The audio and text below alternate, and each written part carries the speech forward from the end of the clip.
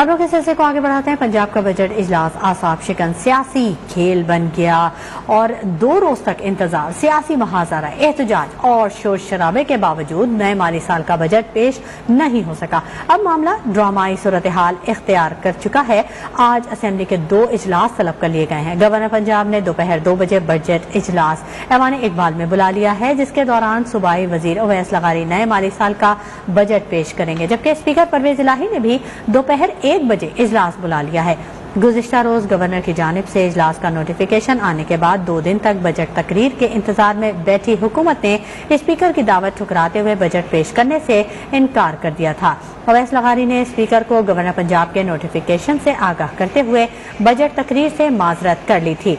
वाजह रहे कि अपोजिशन और स्पीकर ने आई जी पंजाब और चीफ सेक्रेटरी को असेंबली बुलाकर अरकान असेंबली पर तशद पर माफ़ी मांगने और 25 मई को दर्ज मुकदमा दर्ज खत्म करने का मुतालबा किया है, जिसे हुकूमत ने मानने से इनकार कर दिया है।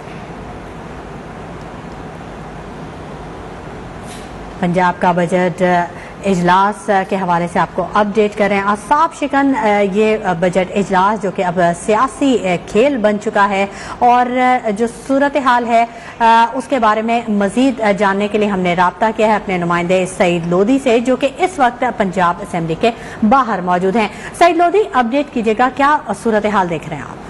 पंजाब की तारीख में पंजाब असम्बली के दो बजट इजलास आज मुनद हो रहे हैं। एक बजट इजलास जो है डिप्टी स्पीकर पंजाब असम्बली जो है, दोस्त मोहम्मद मजारी की जेर सदारत जो है, ऐवान इकबाल में होगा, जबकि दूसरा इजलास जो है, स्पीकर पंजाब असम्बली चौधरी परवेज लाई की जेर सदारत जो है, असम्बली बिल्डिंग के अंदर होगा। ये बजट का जो इजलास है, इसमें इख्तलाफात जो है, कई रोज से जो है, जारी है, जिसकी वजह से बजट पेश नहीं किया जा सका। वो अपोजिशन जो मेंबरान है, उन्होंने उन्होंने एहतजाज किया था। उनका कहना पर हालिया दिनों के अंदर जो केसेस जो है बनाए गए थे, उसके जिम्मेदार जो है चीफ सेक्रेटरी पंजाब जो है और आईजी पंजाब जो है आप जो है, उनको ऐवान के अंदर बुलाया जाए। वो ऐवान में आकर जो अपने इस रवैये की माफ़ी मांगे और ये मुकदमा वापस लिए जाएँ। जबकि हुकूमती जो है अरकान वो चाहते थे कि किसी तरीके से इन इख्तलाफा को ख़त्म करके जो है पंजाब का बजट जो है पेश किया जाए ताकि मामला जो आगे चल सकें।